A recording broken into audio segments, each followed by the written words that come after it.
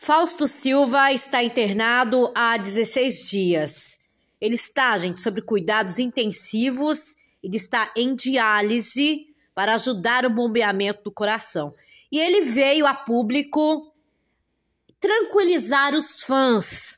Mas de ontem para hoje teve uma notícia não muito boa. Você acha? Eu, por sorte, ainda não morri. Eu estou preparado para coisas da vida.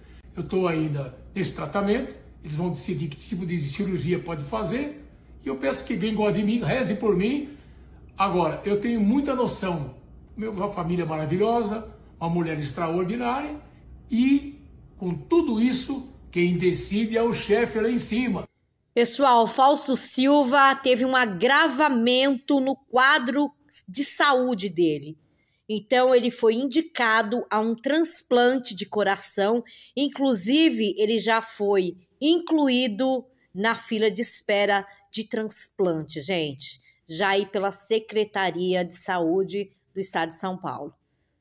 Tá aí, gente. Então, Faustão agora precisa de muitas orações.